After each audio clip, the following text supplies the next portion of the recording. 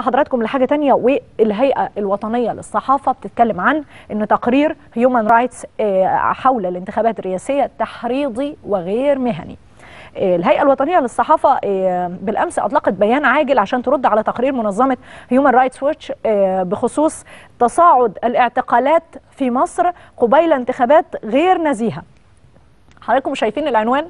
يعني تصاعد الاعتقالات. إحنا ما عندناش ما فيش كلمة اعتقالات دي حتى قانونا مش موجودة يعني. تصاعد الاعتقالات في مصر قبيل انتخابات غير نزيهة. طب هي الانتخابات ما حصلتش أصلا؟ سيادتك بتقرر إنها مش نزيهة إزاي؟ هي. لسه ما بدأتش. إيه اللي عند حضرتك قيمك وخلاك تعلم الغيب وتشوف الانتخابات دي هتبقى نزيهة ولا مش نزيهة؟ فعنوان مخزي والسياق بقى إيه؟ بيان تحريضي ضد دولة. يعني شيء غير منطقي. لكن دي قراءتنا إحنا. قراءة بقى المتخصصين في الموضوع. خلينا نشوف مع حضراتكم سيد مختار نوح المفكر الإسلامي وعضو المجلس القومي لحقوق الإنسان. صباح الخير يا فندم. منورنا حضرتك. أهلا وسهلا. صباح النور يا فندم. أهلا وسهلا. قراءة حضرتك لهذا البيان يا فندم يعني. هو حضرتك أنا أنا قارئ الهيومن رايتس من أول ما طلعت. اتفضل. وكنت بخاطبها الأول. إحنا عايزين نفك اللوغاريتم بتاع المنظمات الحقوقية دي. كل منظمة بتتبع من يمولها وظيفيا. تمام. يعني هي بتأدي غرض وبتأدي وظيفة. مش ممكن بتكون بتمول مثلا من الولايات المتحدة الأمريكية وهتخالف سياسة الولايات المتحدة آه طبعا. أو هتتكلم عن مثلا معتقل أبو غريب مثلا أو هتتكلم عن جوانتنامو. انتهاكات الولايات المتحدة الأمريكية في أماكن مختلفة مثلا. آه هتتكلم على الحاجات اللي هي بتكلف بيها فدي اولا. ثانيا أنا متابع هذه المنظمة من أول ما اتعملت يعني من أيام الاعتقالات الاعتقالات الحقيقية اللي كانت أيام مبارك. اللي في بعض الاعتقالات قعدت 19 سنة و20 سنة. تمام. وبالاسم بعتنا لهم باسم ما كانوش بيكتبوا لأن ما كانوش مكلفين وقتها بالكتابة. أوه. وقت ما كلفوا بالكتابة بيكتبوا أما بقى مسألة المصطلح اللي, اخترعوه بتاع الاختفاء القسري ده آه. هي طبعا مجندة ناس هنا. مجندة ناس بتحاول إنها تعمل التمثيليات دي. العقوبات طبعا مش كافية للمجندين في هذا الأمر العقوبات مش كافية أو ما فيش عقوبات أحيانا بالمرة. أوه. لذلك ينبغي إن إحنا نلجأ إلى القانون في هذه المسألة. منها مسألة الاختفاء القسري المجندين اللي هم التابعين لهيومن رايتس هنا في مصر. طبعا بيدوا آه. فلوس ويعملوا التمثيلية دي. المفروض يكون في محاسبة ما قانونية ليهم يعني. نعم. المفروض سيادتك بتقول في محاسبة قانونية تحصل ليهم. لازم لازم. آه، محاسبة. قانونية ليه بقى؟ لأن هم بيعملوا تمثيلية زي أي حد ما بيعمل تمثيلية ويعرضها على التلفزيون وبنحاسب المعد والمنشئ لهذه المسرحيه بنحاسبه قانونا. برضه دول بيبقوا أخطر. الناس دي بتبقى واخدة فلوس عشان تمثل التمثيلية دي. والاختفاء القسري قلنا إنه مصطلح نزل مصر مع البلدي مع الدكتور البلدي علشان الاختفاء القسري جريمة يحاسب عليها النظام ومش بتحاسب عليها أفراد بيحاسب عليها النظام. الاختفاء القسري ده معناه اختفاء. ومعناه خصر يعني خطف ومحدش يعرف عنه حاجة ال- ال- المصطلح ده ظهر من سنتين وكان المقصود به اللي هو إدانة نظام السيسي وأظن العنوان اللي حضرتك قرأتيه دلوقتي من شوية الانتخابات غير نزيهة من قبل ما تحدث يعني دي. بادرة كويسة ملاحظة كويسة من حضرتك إن هو بيتكلم من دلوقتي عن عدم نزاهة حاجة ما حصلتش. نيجي بقى للاختفاء القسري، إيه الاختفاء القسري؟ ده أصلا مش موجود في مصر.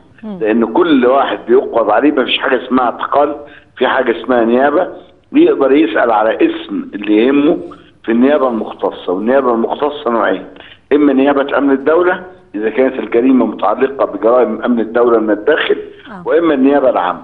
ممكن يمنع من الزيارة ما فيهاش حاجة، ده حق للنيابة إنه يمنع الزيارة مدة معينة. آه الناس بقى هنا في مصر آه، أحيانا بعض الناس بتصدق بتنسى إن هيومن رايتس أو أي منظمة حقوقية إنما بتؤدي وظيفة مفيش حاجة اسمها منظمة حقوقية لأن كل المنظمات الموجودة في الساحة في مصر آه. تمويلها أجنبي وتمويلها معروف.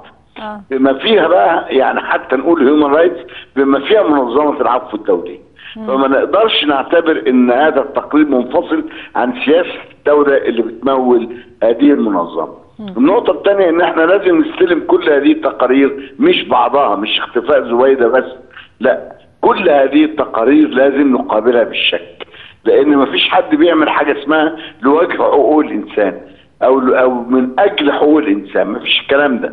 نعم. مش موجود على أرض العالم لسه. ما توجدش ان منظمة تبحث في حقوق الإنسان مجردة إنما هي بتوظف هذه القضية لمصلحاتها السياسية. يعني إذا كانت عايزة تتعب نظام معين فبتتعبه نعم. عن طريق هذه التقارير الكاذبة. من ضمن التقارير الكاذبة اللي مش محتاج رد الحقيقة غير إنه يقرر عقوبات على كل من يتواطأ مع هذه المنظمات. ما ما ما بنقولش كده علشان نخوف ناس عندهم شكاوى لا اللي عنده شكوى بيتقدم بيها وبكل الطرق القانونية. لكن اللي عنده تمثيلية ما ما تقدمش بيها. واحدة زعلانة من أمها هربت من أمها راحت آه، أمها دفعتها إنها تروح آه، تجمع. في التجمع ده حبت واحد واتجوزته. زعلانة من أمها وأمها مش موافقة. قعدت مع جوزها وما عرفتهاش عنوانها دي قضية مش المفروض إنها تطرح على إنها اختفاء قصري ومش اختفاء قصري. آه. لما شفنا حتى البنت وهي بتتكلم يعني دي ما تستدعيش لأي اختفاء. يعني بنت ملهاش علاقة بالسياسة ملهاش رأي ملهاش فكر ملهاش أي هي راحت قعدت 10 أيام تاكل وتشرب وواحد اعجب بيها اتجوزها وخلاص. يبقى إحنا لازم نواجه هذه الحالات بالقانون القانون الداخلي.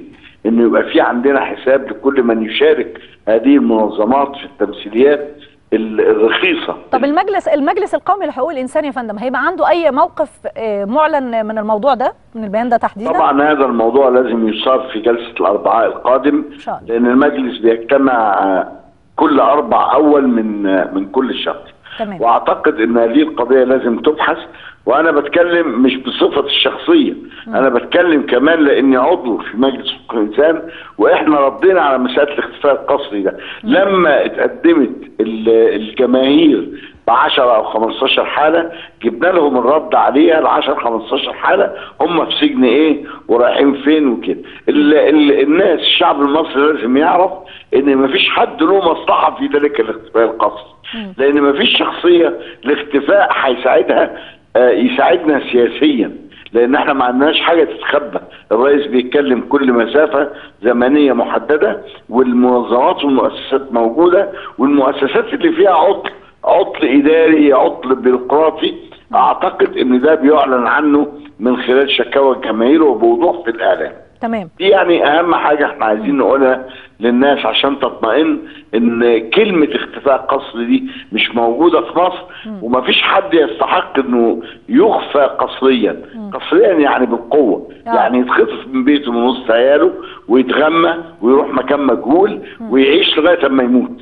يعيش في المكان ده لغاية اما يموت. مفيش حاجة تستدعي هذا الكلام. مواضيع أبسط من كده يعني. نعم يا فندم. بقول المواضيع أبسط من كده. أبسط من كده واللي عايز بيتكلم ما هو بيتكلم. آه. واللي عايز يروح قطر بيتكلم بيتكلم. بس هي ال- الأشياء دي بتتعمل لأنها جزء من الحرب. جزء من الحرب على النظام المصري وعلى الشعب المصري. جزء من تفتيت الجبهة الداخلية. كل دي حروب معروفة بالذات لما بتكون دولة بتبني نفسها على مستوى واسع يعني الخطوات اللي بتتم في مصر تمام. خطوات واسعة جدا. الخطوات الواسعة جدا دي داخلة في الغاز وداخلة في البترول وداخلة في التسليح وداخلة في الاستقرار. لازم لازم أي دولة آه، آه، استعمارية زي مثلا النظام الأمريكي ما يرحبش بوجود دولة قوية في الشرق الأوسط. بغض النظر عن إن أمريكا أعلنت أهدافها في في في كل ال- المحافل الإعلامية وقالت إن أهدافها خلق كيانات ضعيفة.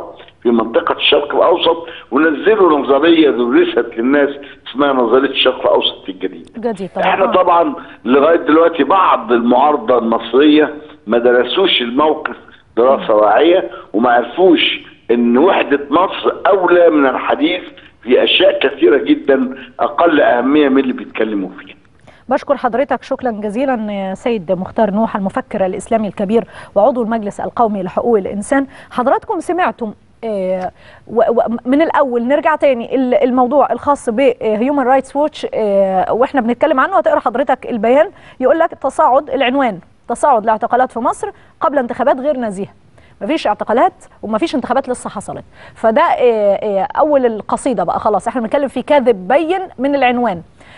تقرأ بقى بقية التفاصيل آه، وبعدين موضوع الاختفاء القسري زي ما سيد مختار وحضرتكم سمعتوا آه، مفيش حاجة تستدعي الاختفاء القسري اولا اللي بيتوه له عيل في مصر بيوصل للصحفيين وبيوصل للناس وبيكتب على ال social media اللي بي... اللي بيضيع منه عي... طفل صغير ابنه الصغير.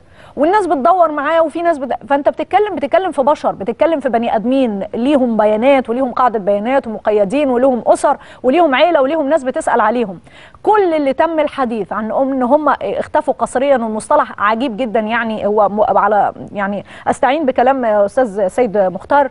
آه، هو مصطلح تم اختراعه عشان مصر يعني. كل اللي تم اختفائهم قسريا زي ما بيقولوا ظهروا في أماكن تانية اللي ظهر منهم آه، في جماعات إرهابية واللي ظهر منهم في داعش واللي ظهر منهم مع تكفيريين هنا واللي ظهر منهم تم بيكلمنا من سوريا واللي بيبعت ما أعرفش فيديوهات منين واللي ظهرت مرتبطة ومتجوزة ومش عايزة تعرف أهلها. كل شخص تم الادعاء بحاجة بتظهر الحقيقة لكن هم طبعا بيعموا عينيهم عن الحقيقة. هو مصمم إنه ياخد القصة من أولها ويشتغل عليها ويروجها لهدف معين وهو ضرب الدولة المصرية. الحرب حاليا هي إيه، إيه، حرب ضد كل ثوابت الدولة المصرية وحرب ضد الشعب المصري في إيه، ثقافته في معطياته الفكرية في أساسياته الإنسانية. ضرب كل الروابط الإنسانية داخل مصر. فطبعا أهلها في رباط إلى يوم